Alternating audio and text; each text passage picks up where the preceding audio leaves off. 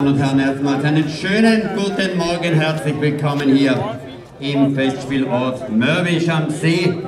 19. Neusiedlersee Radmarathon. Es ist mehr oder weniger der Auftakt in die Radmarathon-Saison. Es gab natürlich schon den einen oder anderen, aber der Neusiedlersee-Marathon ist natürlich der Frühjahrsklassiker schlechthin. Er zählt wie schon in den letzten Jahren zum Austria 4 Cup da kommen natürlich dann noch die Events in Bad Kleinkirchheim am 30. Mai. Dann der in Lienz, die Dolomiten Radrundfahrt am 13. Juni und das große Finale Ende Juni in Mondsee. Also der 15 Radmarathon in Mondsee bildet das große Finale des Austria 4 Cups. Und es sind eigentlich